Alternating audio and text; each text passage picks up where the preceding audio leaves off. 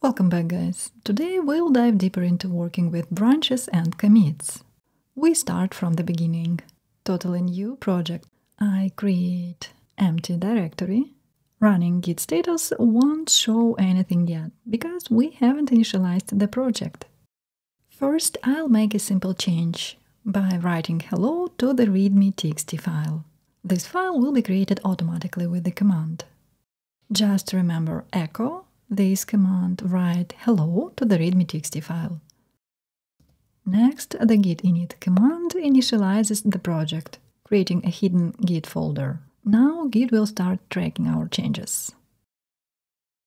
To confirm it, run ls-a to display both hidden and regular files.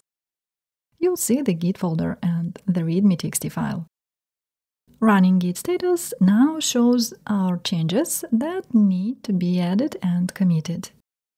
Let's handle this.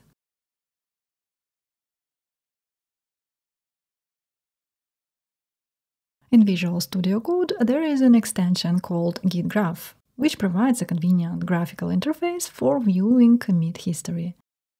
To install it, open the extensions panel in VS Code search for Git Graph and install it. It visually maps branches, changes, merges, and more. Once installed, you'll notice a Git Graph icon at the bottom panel. Clicking it displays the current state of the project. Here we see we are on the main branch, the default branch.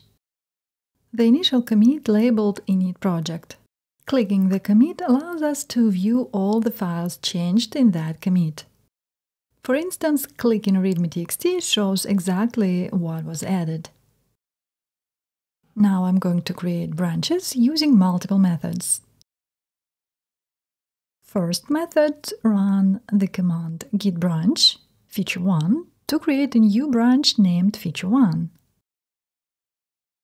Then using the command git checkout feature1 we switch to it. Check the Git graph to see that we are now in the feature 1 branch.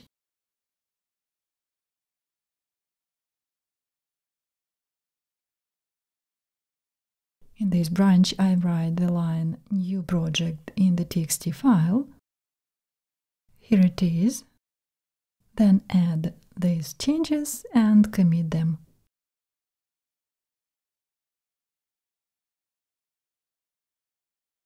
Let's make another one. I write the third line into txt file and this line will be commit to.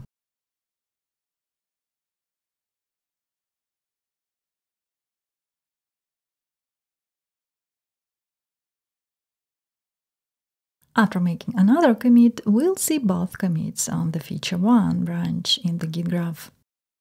Now I'm going to create another one branch, but for this I'm going to use another command. With the command git checkout main, I switch to the main branch. So right now we are in the main branch. Just to remember, here we don't have these previous two commits. I use the command git checkout minus b and then name of my second branch, feature 2. This creates and switches to a new branch simultaneously. In the feature 2 branch, I will create a new Python file app.py and add a simple print hello world function.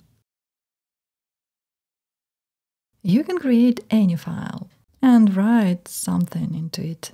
It's up to you. Git status shows the file that we need add and commit.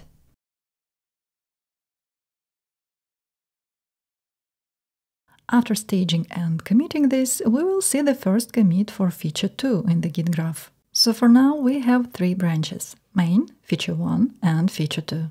Main has just one commit init project. Since we branched off from main, the new branch feature 1 starts from the same initial commit of main init project and includes two additional commits that we just made in feature 1, commit 1 and commit 2. The same with the branch feature 2. This branch has the initial commit init project and the commit that we just made. Commit 1, feature 2.